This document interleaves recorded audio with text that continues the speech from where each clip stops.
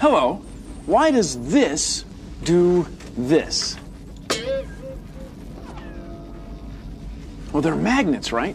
And right now, the same side of each magnet is facing each other, so they push apart.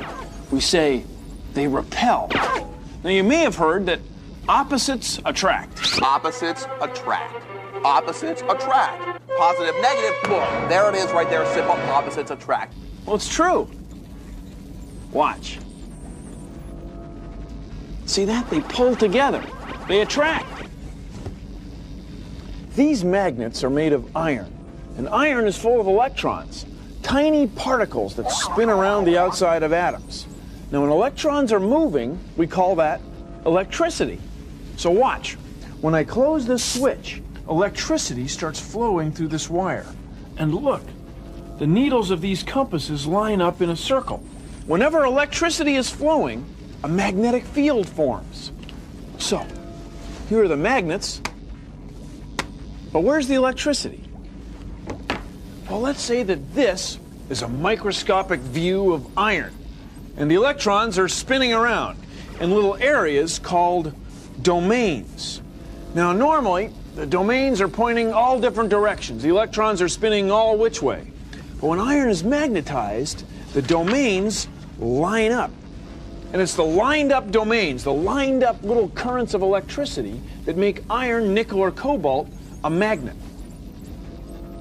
Our planet, the Earth, is full of iron and nickel, and the Earth is spinning.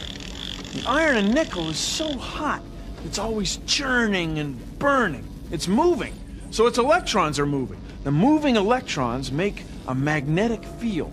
The Earth is like a giant magnet, and that magnetism is the same thing that makes compasses point north. The magnetism is looping through our bodies our whole lives. In fact, it's going through you right now. Isn't that wild? Well, thank you for joining me on Consider the Following. The Earth's magnetic field extends way out into space. Charged particles from the sun, called solar wind, hit the Earth's atmosphere, and the Earth's magnetic field makes the air glow. Now, where the Earth's magnetic field is the strongest is at the poles, so that's where the air glows the most. Up here, we call the glowing the northern lights, or aurora borealis. Down here, we call the glowing the southern lights, or aurora australis. Anyway, we end up with these big belts of charged particles held in space by the Earth's magnetic field. They're called the Van Allen belts, named after the United States physicist who discovered them.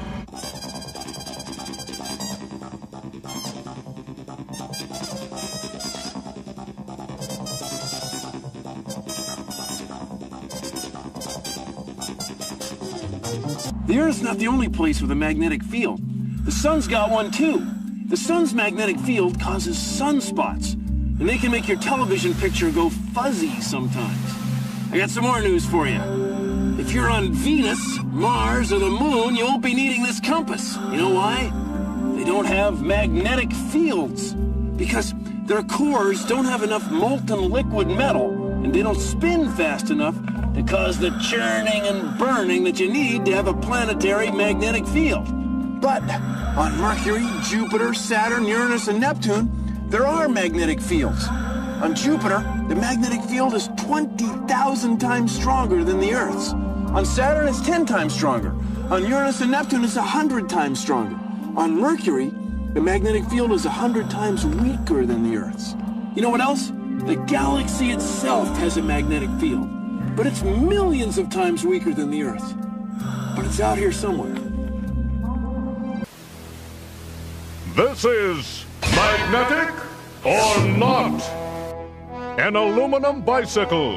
Magnetic or not? More cold hard cash. Magnetic or not? The planet Jupiter. Magnetic or not? This has been another Magnetic or Not.